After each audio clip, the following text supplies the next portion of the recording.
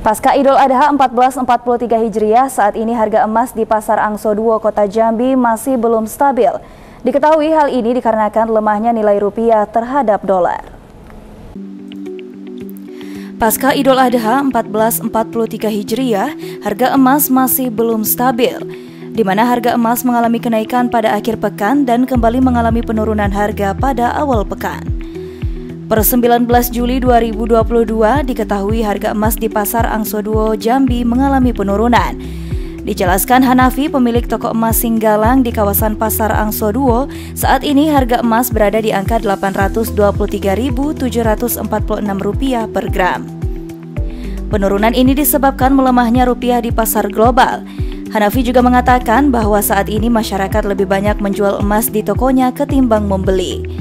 Hal ini dijelaskannya karena saat ini telah memasuki tahun ajaran baru dan banyak orang tua yang membutuhkan biaya untuk kebutuhan sekolah anak mereka. Oh setelah itu ya, oh, mengalami penurunan. Cuma apa? Ini apa naik turunnya fluktuasinya kan belum jelas ya. Sekarang tiap pekan itu biasanya naik, ya kan? Pas di awal pekan dia turun. Gitu. Hmm jadi kita cuma ikut harga global aja. Ya. oh, jadi masih belum stabil gitu ya pak? Iya masih stabil. Ya biasalah kalau global kan biasanya siapa kan?